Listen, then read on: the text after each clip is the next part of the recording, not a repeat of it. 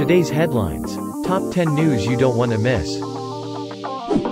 Don't forget to subscribe to keep up with the latest news. Chicago mass shooting, 8 shot, 4 fatally. In Englewood home a woman sobbing hysterically ran under the police tape and was quickly surrounded by officers. A few moments later, she cried, they killed my daughter. That's my baby. That's my baby. China, its military might expanding, accuses NATO of hypocrisy in a sign of rising tensions. Beijing deployed 28 Chinese fighter jets and other aircraft over waters south of Taiwan hours after a U.S. carrier group sailed into the South China Sea.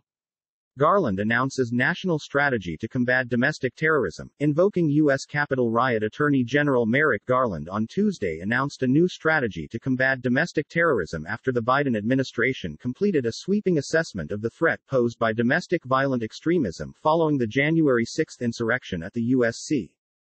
Pure insanity. Emails detail Trump's pressure on Justice Department to overturn election new documents released Tuesday by a key House committee detail President Donald Trump's repeated efforts to pressure his Department of Justice to investigate his false allegations of election fraud.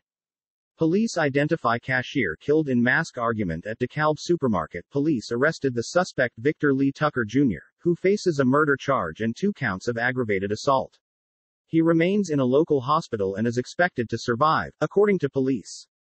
Here's a complete trader playbook for every outcome from the key Fed meeting. Here are several possible scenarios the Federal Reserve could take during its policy meeting this week. Tokyo Olympic organizers. Condoms, not for use at the athletes' village. Tokyo Olympic organizers sent a message to athletes looking to do more than just participate in the sporting events later this summer. Take your condoms back home with you. Manifest Cast responds to cancellation, save Manifest. Refresh for updates. Manifest cast members Luna Blaise, Parveen Kaur and Garrett Wareing took to Twitter after Deadline broke the news last night that NBC will not renew the Missing Plane drama series for a fourth season.